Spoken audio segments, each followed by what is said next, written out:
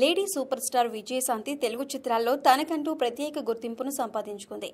ఆ రోజుల్లో హీరోలతో సమానంగా లేడీ ఓరియంటెడ్ పాత్రలు చేస్తూ వరుస విజయాలతో దూసుకుపోయి ఏ హీరోయిన్ చేయని వైవిధ్యమైన పాత్రలకు కేర్ ఆఫ్ అడ్రస్గా నిలిచింది విజయశాంతి.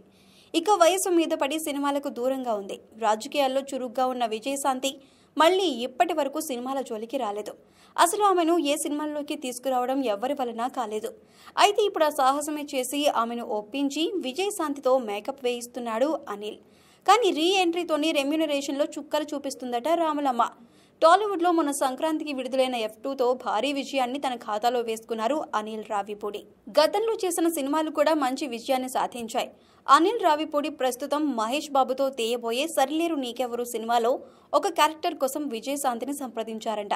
వెంటనే విజయశాంతి ఫిదా అయిపోయి వెంటనే ఒప్పుకుందట. అనిల్ కూడా ప్రత్యేకంగా తను రాసుకున్న కథకు విజయశాంతి అయితేనే పర్ఫెక్ట్ చాయిస్ అని ఫిక్స్ అయిపోయాడు. దాంతో ఆమె తప్ప మరో నటి ఈ పాత్రకు చాయిస్ లేదు కాబట్టి అడిగినంత పారితోషికం కూడా ఇవ్వటానికి రెడీ అయ్యారంట. ముందుగా ఈ పాత్రలో నటించడానికి విజయశాంతి కోటిన్నర అడిగిందని తెలుస్తుంది. చివరికి కోటి పాతిక వరకు బేరం తగ్గొట్టారని ప్రచారం జరుగుతుంది. మరో విచిత్రం ఏంటి అంటే విజయశాంతి సినీ కెరీర్ స్టార్ట్ చేసింది సూపర్ స్టార్ కృష్ణతో కాక ఇప్పుడు సెకండ్ ఇన్నింగ్స్ సైతం ఆయన కుమారుడు మహేష్ బాబుతో కావడం విశేషం. ఇదే సినిమాలో హీరోయిన్గా నటిస్తున్న రష్మిక మందన్నకు విజయశాంతి కంటే తక్కువ. అంటే కోటి వరకు ఇస్తున్నట్లు వార్తలు వినిపిస్తున్నాయి. అంటే సినిమాలకు గ్యాప్ ఇచ్చి పదమూడు సంవత్సరాలు అయినప్పటికీ రాములమ్మ మాత్రం రెమ్యునరేషన్ విషయంలో అస్సలు తగ్గటం లేదంట.